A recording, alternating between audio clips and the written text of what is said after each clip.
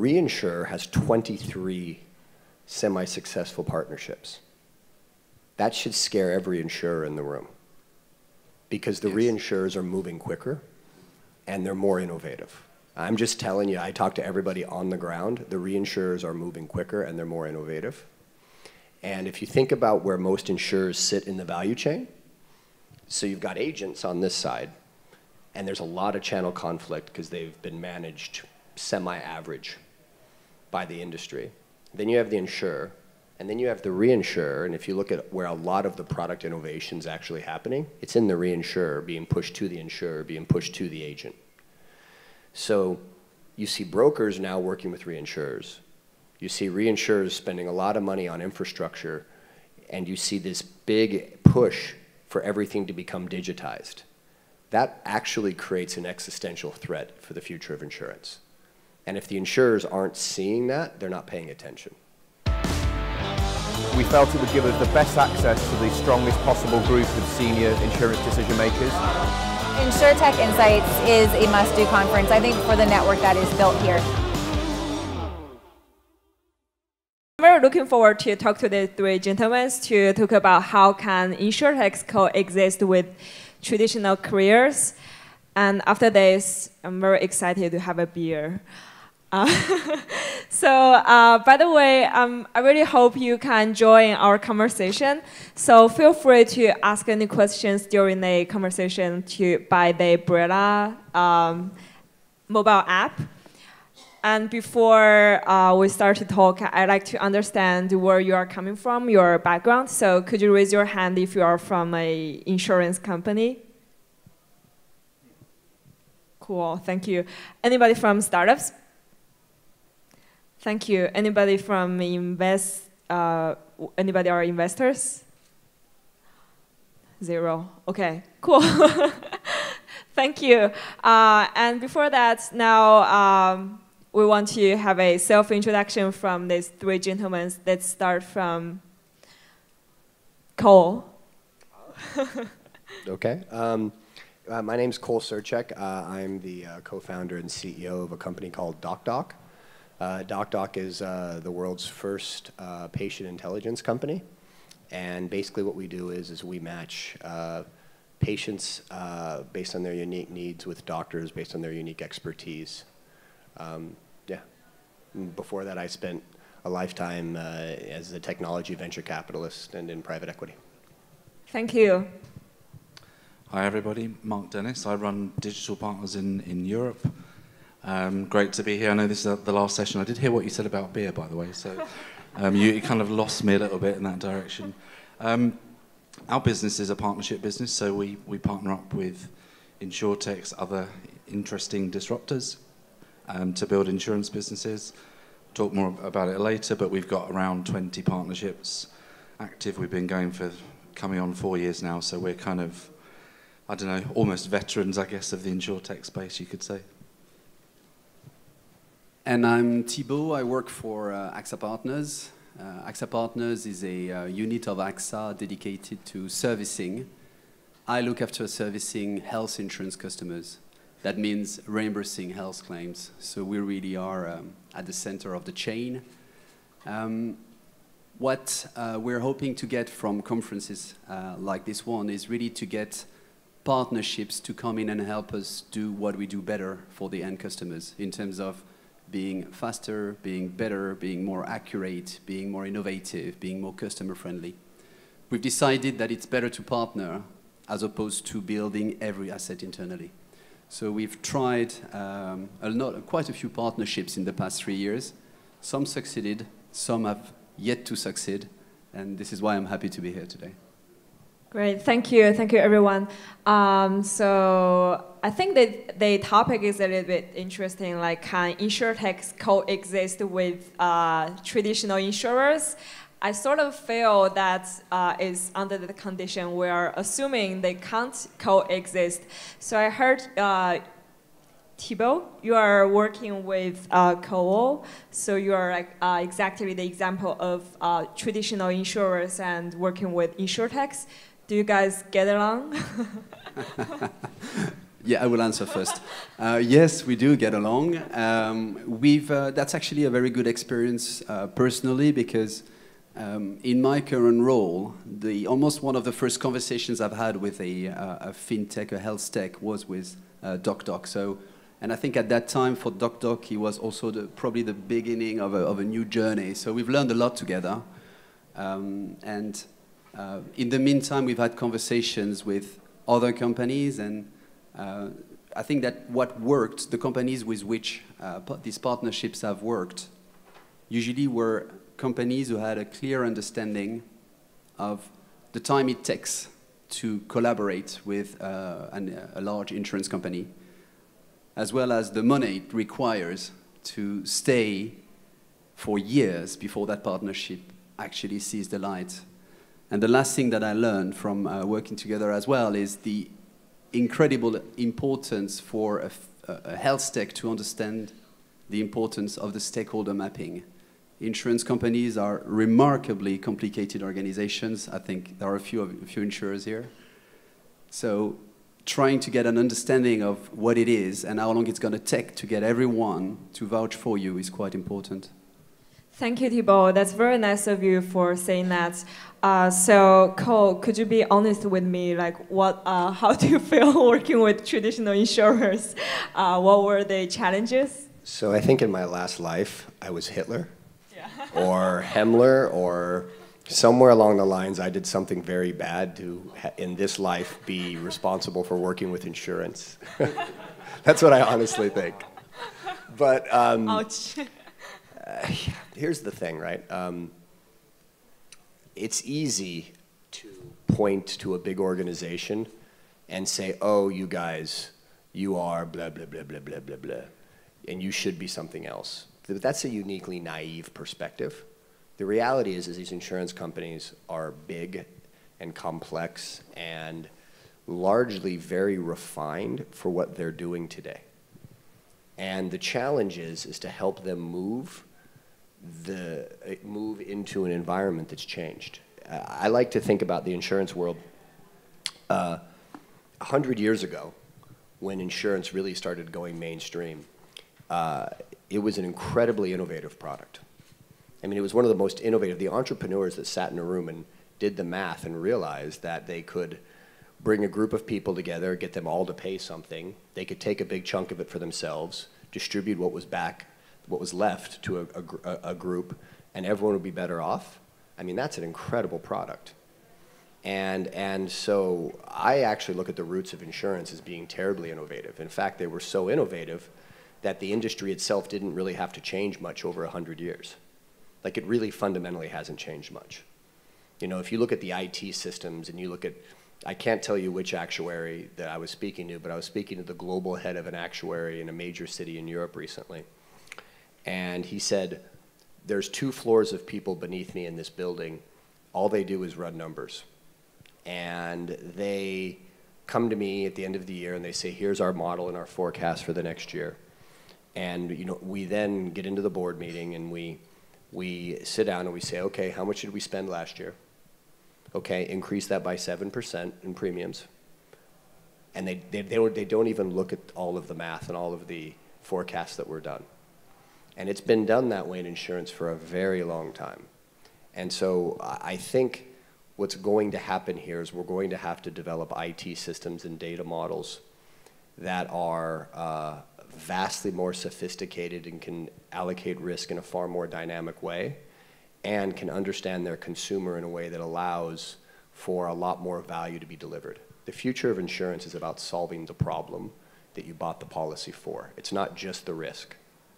And, and that's, I think we all agree, getting these organizations that aren't designed to do that, to do that, is going to take a long time.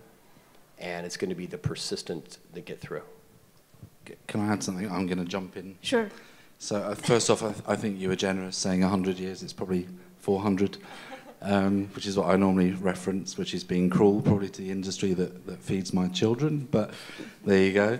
Um, I, I like what you said because I, I would liken this to game theory, if you like, and this isn't a zero-sum game, right? So we're in Hong Kong, so everybody knows game theory probably. Um, everybody can benefit from this. You know, ultimately the customer, but you know, I come from a reinsurer technically. Um, we expect to benefit from these transactions. We expect our insurtech partners to benefit, customer, everybody in the middle. So actually, this kind of evolving ecosystem. There you go. I've said it now. Um, a bit overused, I think. Probably heard it a hundred times today already. Um, but everybody that, that plays can actually gain something. And so I, the change I've noticed, I'm probably jumping a bit too far ahead, but in the last three or four years is that when we first started our business, there was a lot of kind of cynicism from insurers in particular about insurtechs, probably better described as, as fear and loathing, maybe. Perhaps not in that order either. Um, but now there's a lot more of a collaborative feel, certainly where, where I operate, which is mostly Europe and the US, less so in Asia at the moment, and it feels slightly behind the curve here, but it's certainly you know on a collaborative footing now. I guess you see the same. Cool, uh, Mark. So I have a. Uh, I heard you started it four years ago. That's pretty early, considering uh, a big insurer as you. So may I ask, like, what has Munich Re Digital Partners uh, achieved through the four years, and what were what were the challenges?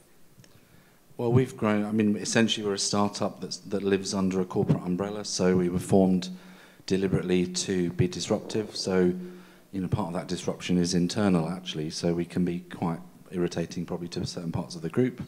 Um, I mentioned at the top we're a partnership model, so we have around, I think it's 23 live partnerships, which which means 23 businesses selling insurance business, right?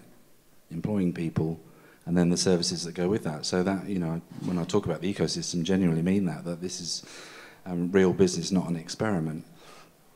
Uh, we've grown from two people, so me and another guy with the, the founders, and we spun out of the, the parent company. We're now nearly 100 people.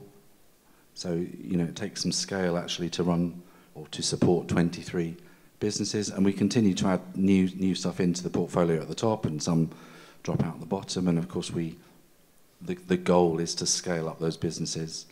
Um, we invest as well, so it's a, a kind of a sister company to, to the business I run.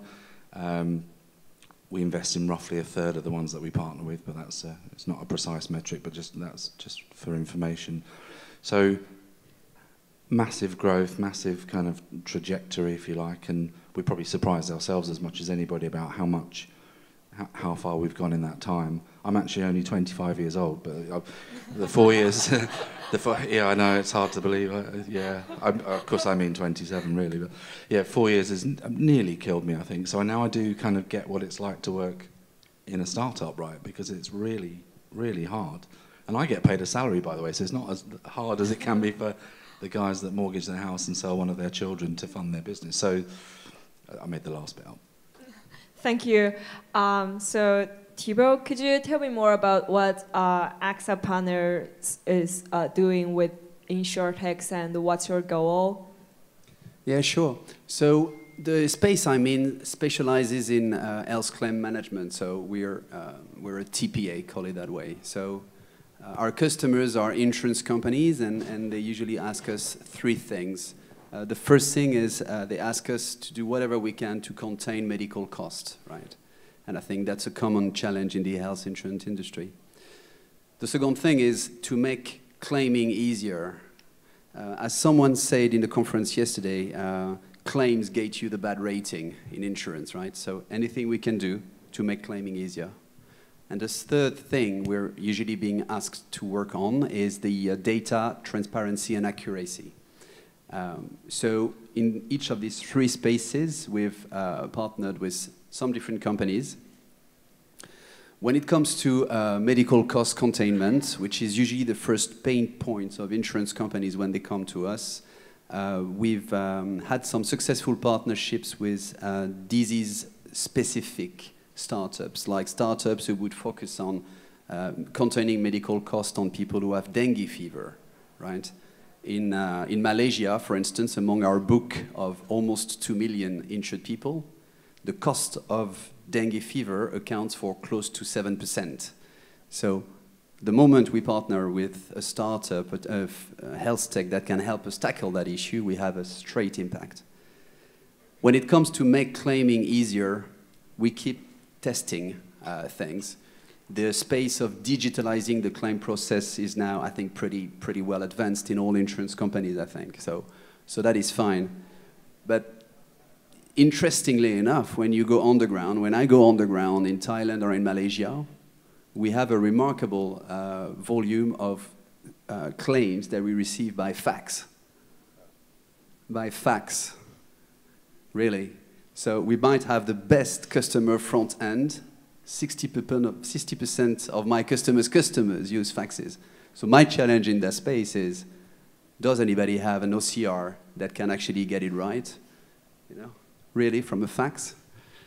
Um, and the third thing is the data transparency uh, and accuracy. And on that particular front, uh, AXA has done, has invested an enormous amount of money in Central, especially on that, that, that, that issue. So we're doing it internally.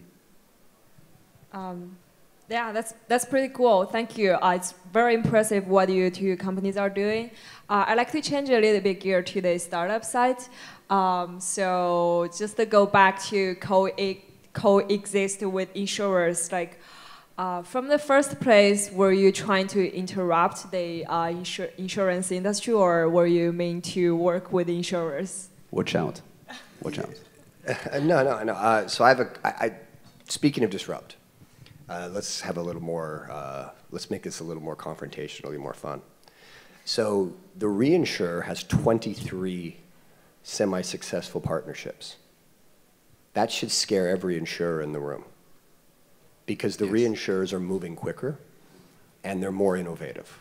I'm just telling you, I talk to everybody on the ground, the reinsurers are moving quicker and they're more innovative. And if you think about where most insurers sit in the value chain, so you've got agents on this side, and there's a lot of channel conflict because they've been managed semi-average by the industry. Then you have the insurer, and then you have the reinsurer, and if you look at where a lot of the product innovation is actually happening, it's in the reinsurer being pushed to the insurer, being pushed to the agent. So you see brokers now working with reinsurers. You see reinsurers spending a lot of money on infrastructure, and you see this big push for everything to become digitized. That actually creates an existential threat for the future of insurance. And if the insurers aren't seeing that, they're not paying attention. I've been studying technology disruption since I, uh, let's say I'm 44. I went to MIT at 26. So for that much distance, and even before that, I've been studying technology disruption.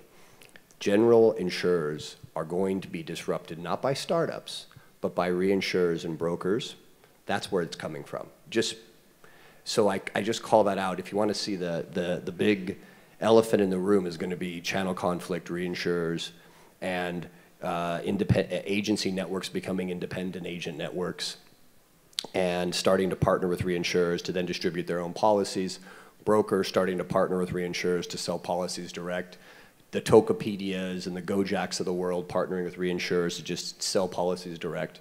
So the competitive intensity in the space is going to increase massively without startups. Startups are the enablers that can help create data-centric services that can create differentiated product offerings. And so there's a window for insurers to actually recognize this and take, it, take control of their customers um, and actually do something with that from a product offering point of view. Um, we do something we take a small sliver of that in health. Uh, but that's not exactly the question you asked, so I don't want to ramble too much. To your question specifically, um, the trick to dealing with insurance is you have to go top down and bottom up. It's way harder than I ever expected when we started this business. Um, you have to go all the way to the global CEO in Munich or Paris or Switzerland, or just take your pick, or London, and you, get, you need the C-suite to say, hey, this is really interesting.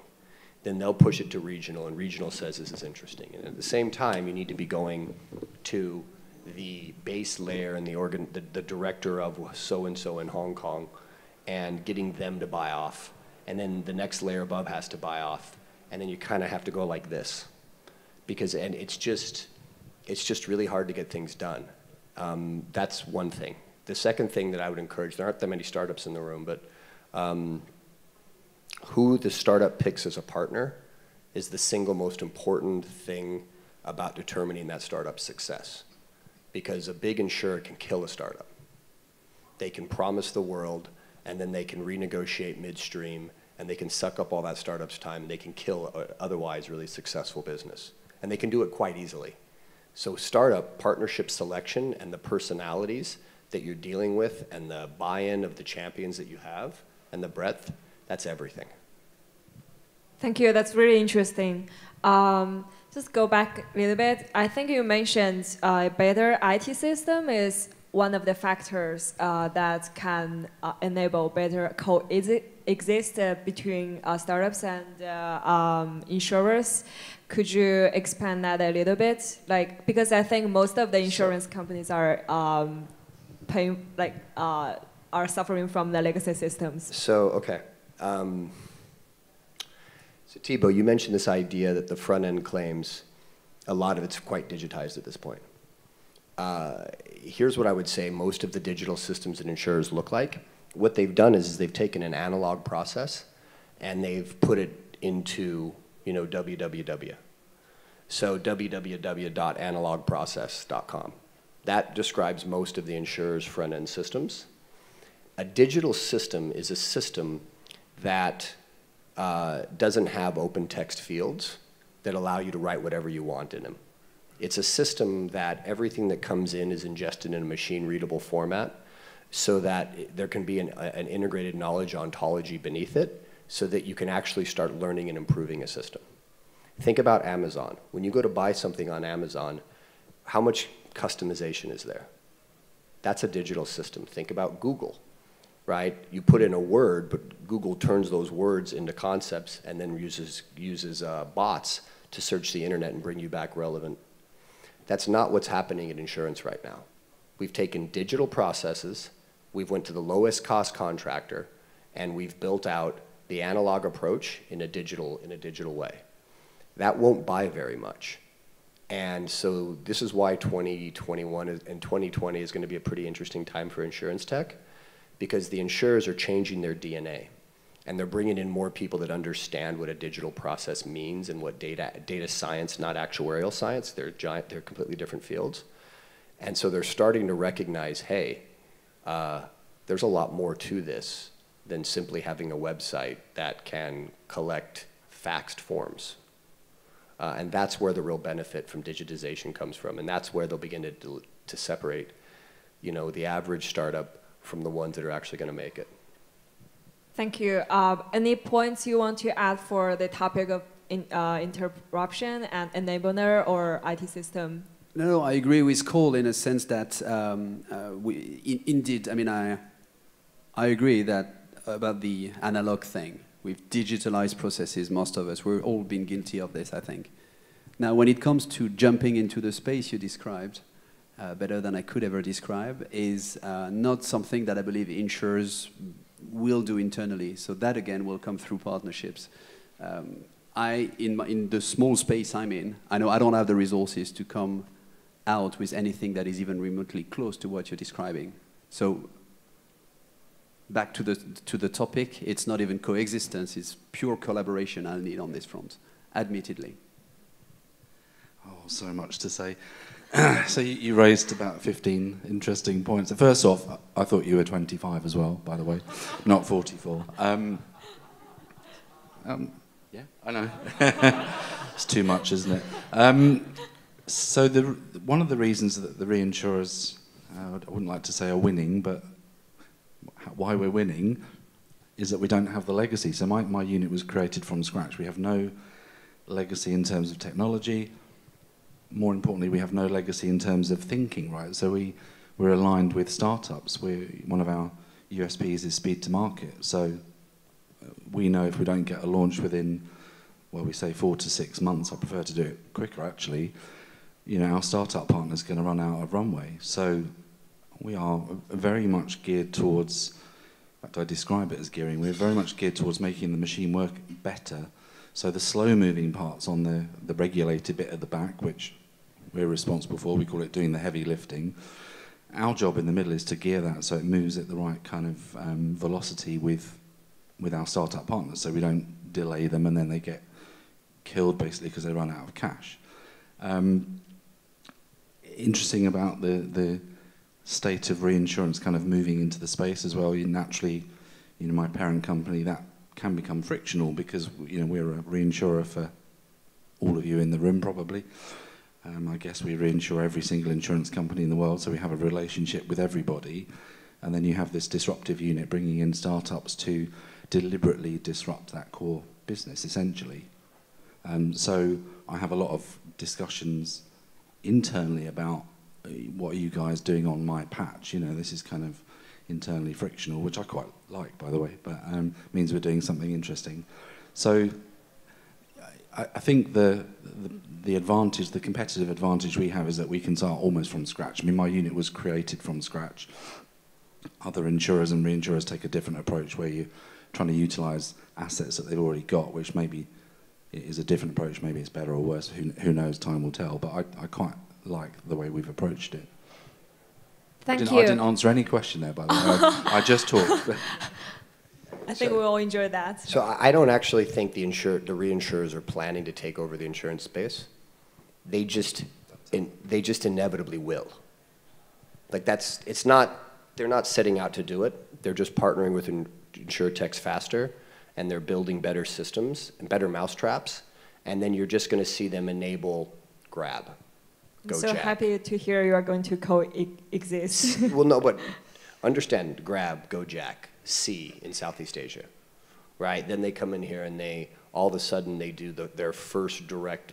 Only takes one. Their first direct deal with Hutchison Whampoa, or a couple of the self-insureds, and what you end up seeing is remember. The marginal cost of a business, the average, or the, the average cost of a product is determined by the marginal cost of the low co- of the competitor. So insurance is inherently a commodity at this point. If you look at health and you look at all the different products in the health space, there's small, medium, and large. That's the level of personalization. If you look at auto, it's kind of the same way. These are inherent commodities. And so it's going to be the efficient player that sets the price in the industry. I mean, I can give you a couple of examples without names, but we already work with directly with distribution, right? So, Yeah. auto manufacturers, BMW, I can give you the name. Um, oh no, I've said it. Um, so, but that's public, and that's that's through an InsurTech partnership. So the InsurTech brought, believe it or not, BMW headquartered in Munich. You know, Munich Re headquartered in Munich, no surprise. The chairman play golf together or whatever. Um, and the InsurTech brings the brings BMW to the our headquarters in Munich for a meeting, which is a bit odd, isn't it, that we have to do that? But that's you know how that relationship worked. But we have direct relationships with retailers, other auto manufacturers now. So exactly what you've you've just referenced that you know this is how we operate. Yeah, thanks. I totally agree. Like open innovation definitely will be the key factor of uh, insurtech or the future of insurance industry. Uh, so I'd like to ask a question for Thibault. I heard you are not only working with startups and also you are like uh, doing mentor for the, some of them. Uh, actually, I want to know how does that work and uh, um, actually what did you learn from like mentoring them from the startups and the process? Well, um, I don't think I brought anything to them really. I probably learned more than I brought to them. Uh, what I could share with them is the complexity of our organizations and uh, and the fact that for a lot of health techs, the first interaction with uh, existing large insurance company will always be very positive. Um, every time, honestly, if you go to the chief health officer of any of our entities, you're going to get a round of applause and let's work together, let's conquer the world. And by let's conquer the world, they mean 2032 at best. So, uh, so um, I think my contribution to that was to say, well, you know, watch out. You know, of course they want to work with you. There are many reasons, and I'll get to this.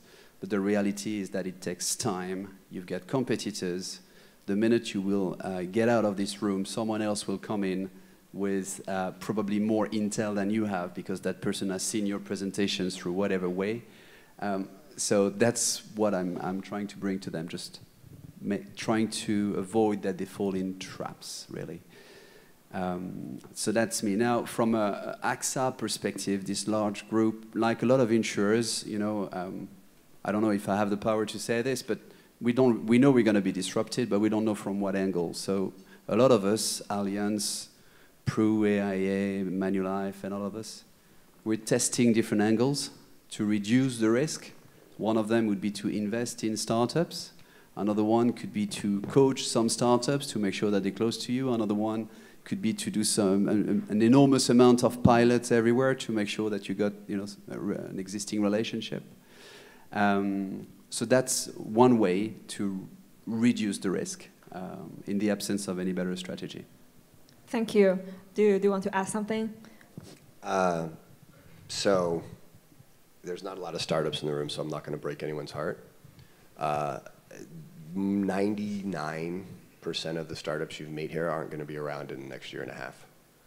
Uh, and they're not going to be around because there's a giant maturity mismatch. There's, there's a maturity mismatch and there's an expertise mismatch. So the maturity mismatch is startups that are needing to raise money on a quarterly basis or a six-month basis or a year-long basis, and uh, a, a, federated insurance system that is that moves glacier on a, on a pace. Um, those two things make it really hard for a really innovative company to, to, to succeed. Like it's, it's just the reality of it. So uh, this idea that insurers are going to partner with a whole bunch of startups, the, it's the wrong approach. The, the, the more prudent approach for all of the insurers out there, pick, find startups that have been around for a while, that have founders that have the capacity to consistently raise money, and invest in the partnership because when you're partnering big company to small company, it's a lot less about, I mean, the technology is really important, but what you're biting into is the execution capabilities of a smaller, innovative team. And so what's going to end up happening in the tech space is it's going to end up being a winner take all. It's going to be like e-commerce. You know, there aren't a thousand, you know, there's Amazon, right? And, in, and there's Alibaba. There's going to be a few really meaningful insurance tech platforms that gain scale and they and they overcome this inherent complexity and inertia in the insure space, and they and they get to scale. Um, you know, what percent of your 23 partnerships do you think will globally scale with Munich Re? 100 percent. I have to because it's a bit like.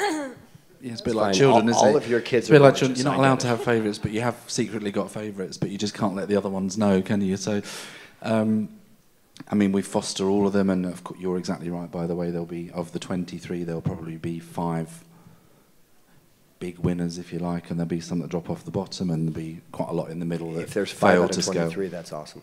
Well, we've already done the filtering though, so so in terms of just to give you an idea of numbers, I mean, we, have got scouts in the US and um, in Europe, and we've got someone in Singapore, and we've got someone in Australia. So we've got people dotted around meeting startups, but we've met more than a thousand insurtech startups, as they would label themselves. They're not all pure insurtech, really, but more than a thousand. And I, to your to your point, Cole, I, I, guess 800 of those are no longer around, right? Well, five out of a thousand is less than a percent, so I, I, buy that. I think that's about right. And and so um, you're not doing yourself a favor by setting up a pilot that puts all the risk on the startup. It's like, ha ha, I just did a deal that's going to fail for sure. Why waste your time as a big company? You'd be vastly better off to invest in fewer partnerships and actually put some money in there to make it a win-win so that you can build your ecosystem. If nothing else, you'll learn. But if you, I mean, the thing that amazed me about Asia, DocDoc would never have been around if I'd have started this out of undergrad. I mean, I had seven years working for one of the largest private wealth firms in the world that allowed me on my name to raise $25 million. If I didn't have that, we wouldn't be here. And there's just no way. It was not because of the success of the insurance partnerships. Most of those insurance partnerships thus far have been, why don't you do a lot of work for free?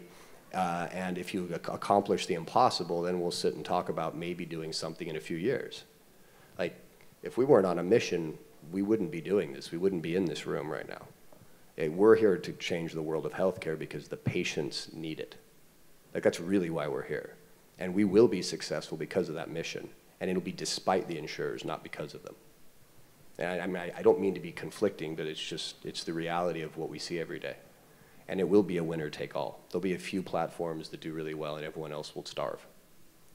Yeah, thank you. I think um, that's something we really need to think about. Like now, a lot of like pilots, POCs are happening, but uh, what what does that go after that? Uh, it's really something serious because like if it takes three months, actually that's very vital for an uh, tech startup.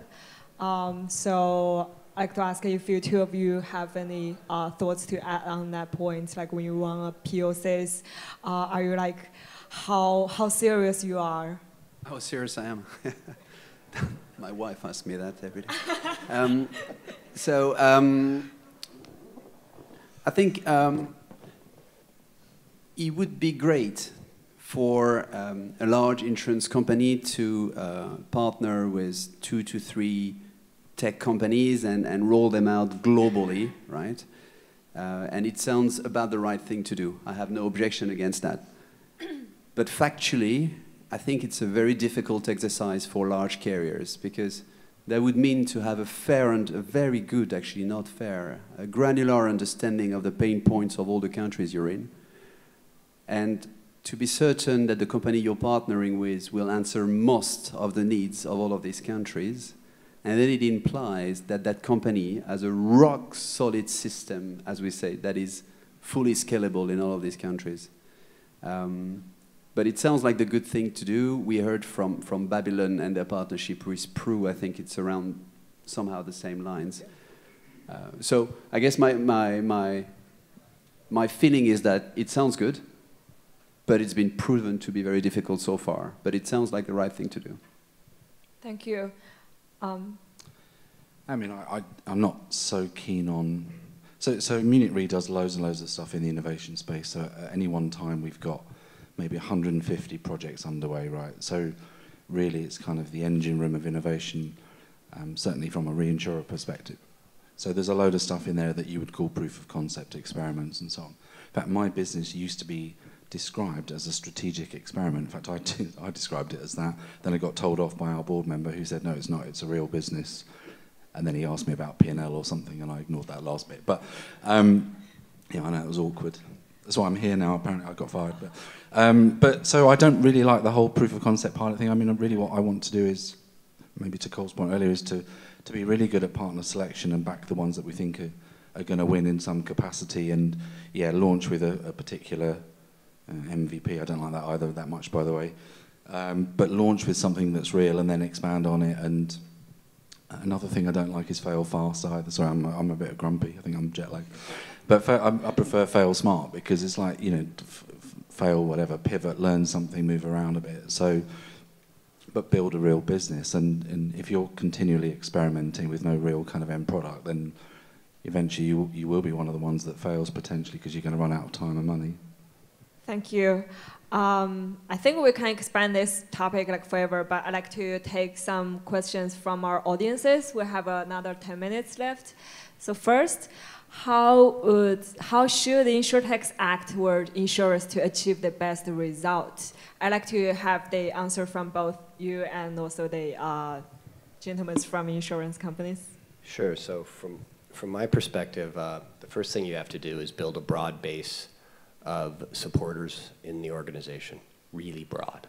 So you need regional support, you need regional CEO support, then you need local CEO support, then you need local director level support, and ideally you have global support so that people are watching it, and that allows, with enough eyeballs, you to get some people in that organization to have KPIs around the success of the partnership.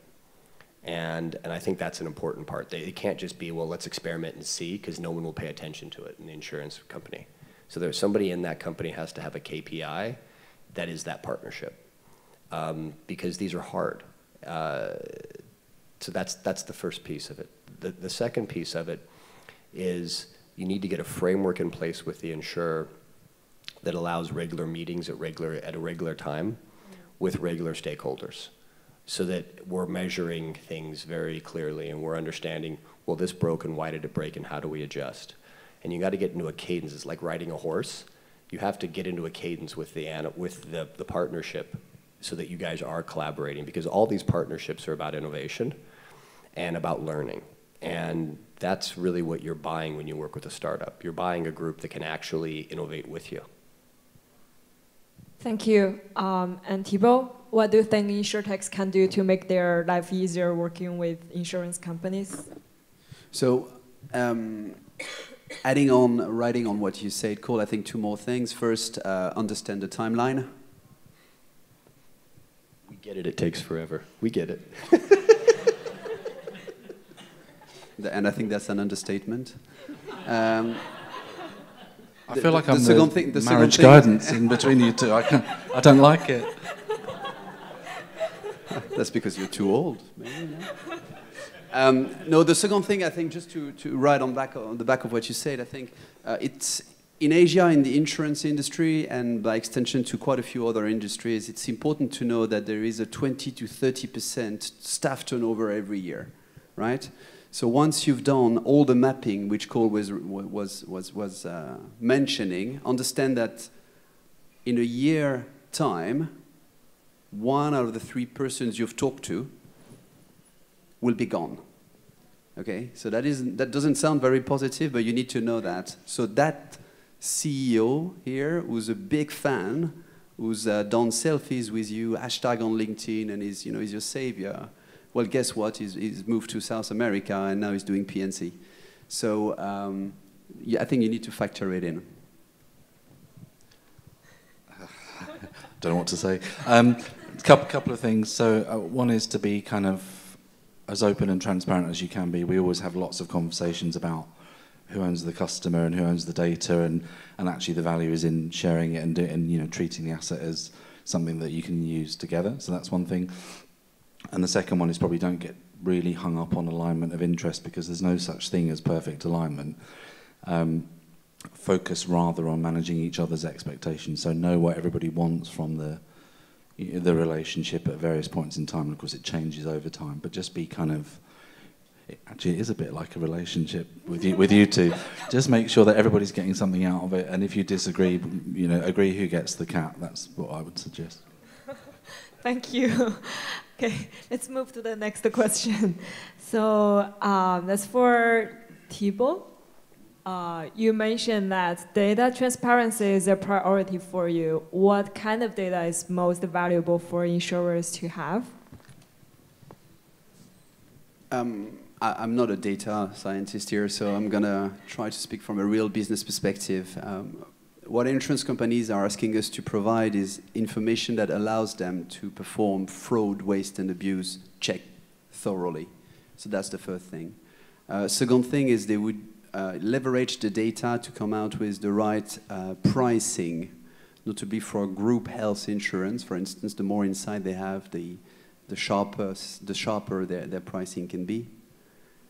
And I guess the third reason would probably be designing the right products. Uh, if you have the good information on your customers, how they behave, where they go, the type of illnesses they have, how these diseases evolve, uh, then you can probably build better products. That would be the three, I think, top reasons, top of my head.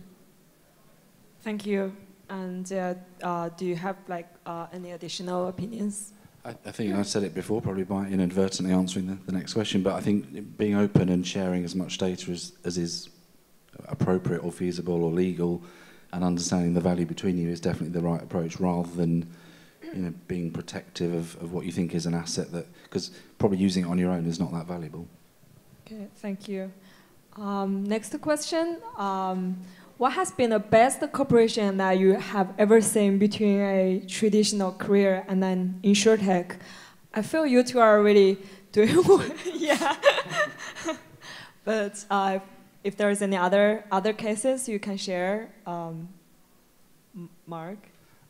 I like all my children. So, I mean, I, we, we've got a lot of success stories. I shouldn't really pick, pick one out, but I, I guess I will. so, Bought by Many is, a, is the very first partnership that we struck about nearly four years ago now. Um, they sell pet insurance in the UK, and, and we, they were actually the catalyst for our entire business after that. So, off the back of meetings with them, they were looking for a, an insurer actually who could build the products that they wanted and launch them in the timelines that they wanted. Seven products launching at the same time, some of which had never been sold in the UK before. So things like pre-existing conditions for pets uh, and cover for older pets, which is typically you know, once a dog reaches about about eight years old, you typically can't get cover because you know they get sick and then you throw them in the river. So. Um, uh, so that partnership's been fantastic for us, you know, not least because it was the catalyst for everything else, but it's just, it's a long-term relationship. So we build out this business. It's still the biggest part of our European portfolio. And I never really thought I'd end up being a, a pet insurer, but there you go. I haven't even got a pet. Uh, I had a turtle. Oh, they do. They, they insure exotic pets as well. Yeah, okay. yeah. That sounds great. Uh, do you have any like use cases you want to share? I mean, um, yes, uh, for sure. We, we we've had uh, our few share of successes in some aspects, but I always question what is a good partnership as well. I don't want to open here an enormous box, but if it's uh, increasing top line, then we have distribution uh, partnership with some uh, insurtech in, in some parts of the world. If it's about increasing um, uh, stickiness of the customers, we have other partnerships that got on. But in, in these past two days, we, we've seen I think some what I consider to be good players as well, like the uh, the, the, Babylon Health partnership is, is quite is quite big. The MyDoc partnership is also quite big. The uh, uh, the Medix partnership is also quite quite enormous. I mean, it's uh, these are I think tangible from what I see and from what I heard. You know, very large successes. Thank you. Um, I have last question for you. Um, you mentioned if you want to work well with the insurance company, you have to reach out all those layers. Uh, which layer do you think is the most challenging one? I, I think they're all they're all the same. I mean, so getting getting into the very like, and and so those partnerships you were mentioning earlier, I have some insight into a lot of those. I don't think any of those are company make. The Babylon Health is a is a is a company maker for Babylon. The other ones, I, I don't think so. Like I just, I mean, there's a lot of PR, but you know, I, I don't believe. Um, yeah, uh, how do I say this? The insurance companies that start thinking system systemically about these problems are going to be the ones that build competitive advantage. And and in a digital world a digital product is one where with every interaction with it, the system takes the data, uses the data to improve the system. So every time Google's crawl bots uh, go, go over a web page, they get a better insight of that page, and it is used to improve search. So search itself gets better every year. It, insurance, the, the, the insurers that win in this market with every claim will be able to create better customer service and reduce claim costs. It won't be an or, it's an and. So every time data comes into the system, it improves the overall system. Right now, the claim comes in, it's paid, the data is thrown in the river, and there's no improvement in the system. And that's just the way, that's an analog process. That's not a digital process. Every time you make a claim, every time you go to Amazon and you buy an item, the logistics of Amazon improve ever so slightly. The efficiency from group buying improves, so the price goes down. Everything about Amazon improves every time with every claim, or with every purchase. And, and so that's going to be the thing that really defines insurance tech going forward. And, and so you can't do that with one person. You just can't. So a one-off partnership that generates a lot of marketing buzz mm. might allow a company to raise a round, but it's not going to generate a, a, lot of a lot of free cash flow for that company. Thank you. I totally agree with that.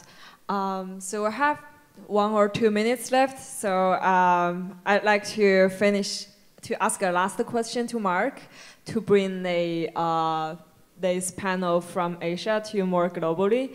So I think this has been a very nice uh, conference, the two days conference. So what's your impression, Mark? Because I know you come from all the way from London, and probably you have seen like what's happening now in Asia. What's your impression like uh, comparing to Europe? I guess there's two. I had two takeaways. One, one this morning, I kind of knew the Ping An numbers before a bit, but then I looked at them on the screen, and I'm like, okay, that's 100 billion of revenue, and I looked at Munich Re numbers, and we're quite a big organisation, 140 years old or something, and our, our annual revenue is 50 billion. And I'm thinking, crikey, that's double what we write globally in one country, which is pretty impressive and slash scary. Um, the other takeaway for me was that some of the conversations I've heard, some of the stuff I've heard on stage, sounds a bit like the conversations we were having maybe three years ago. And I don't mean to be disrespectful in any in any sense. It's just I, I think the market in insurtech here is slightly behind, certainly the US, but but Europe. And when I say Europe, I mean I mean mainly UK, France, and Germany probably. So, you know, as I said, we've met more than a thousand startups, and I've heard lots of the stories many times over actually, and I'm sort of hearing some of the same ones again while I'm here. So it just feels like slightly behind the curve, which is not really a bad thing necessarily, because if you accept that you're four years behind, but you're moving twice as fast, it doesn't take that long to catch up. So that would be my takeaway without any disrespect. Thank you. Uh, I hope everyone here, like from insurance companies, startups, we will work together to push the insurtech move forward. And next time Mark come here, he will be impressed. Yes. okay. Uh, again, thanks for your time and your insightful uh, information and also your sense of humor. I really enjoyed talking with you. Thank you. And thank you everyone for your attention and time.